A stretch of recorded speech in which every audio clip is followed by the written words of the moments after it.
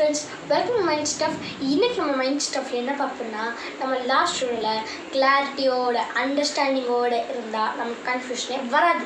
அப்படின்னு நம்ம லாஸ்ட் ரூமில் பார்த்தோம்.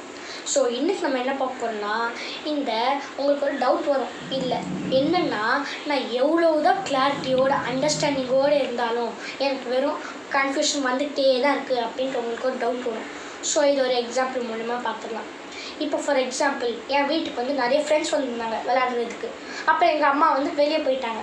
அப்போது நாங்கள் எல்லாருமே கிச்சனில் போய் ஏதாவது சாப்பிட போகும்போது ஒரு கே ஜார் வந்து கீழே வந்துருச்சு கீழே வந்தோடனே எல்லாமே பீஸ் பீசஸாக வந்துருச்சு.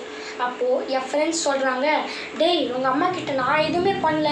அதுவாக கீழே வந்துச்சு அப்படின்னு போய் சொல்லிடுறா அப்படின்னு சொல்கிறாங்க நான் சொல்கிறேன் நம்ம எப்பயுமே பொய் சொல்லக்கூடாதுடா அப்படின்னு சொன்னோடனே அவங்க என்ன வந்து என்ன கன்ஃபியூ கன்வின்ஸ் பண்ணுறாங்க என்னன்னா டேய் நாங்கள்லாம் டெய் பொய் சொல்லிட்டு தான் இருக்கோம். ஆனால் நீ தான் உண்மையை சொல்லி மாட்டிகிட்டே இருக்க அப்படின்ட்டு சொன்னோடனே நானும் ஏமாந்து போயிட்டு ஓகேடா அப்படின்னு சொல்லிட்டேன்.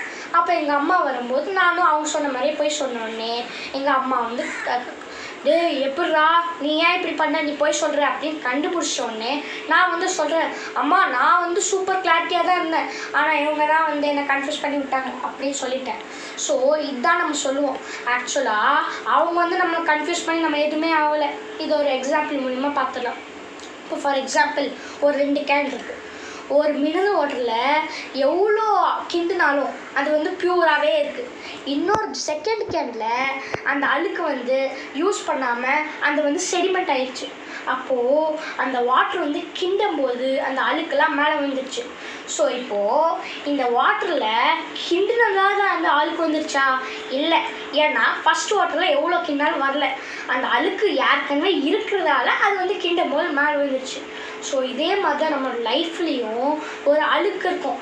என்னென்னா ego likes and dislikes so இந்த அழுக்கு உள்ளே செடிம இந்த தண்ணியில் வந்து செடிமெண்ட் ஆகிருக்க மாதிரி நம்ம வந்து வெளியே பார்க்குறதுக்கு நல்லா ப்யூராக தான் தெரியும்.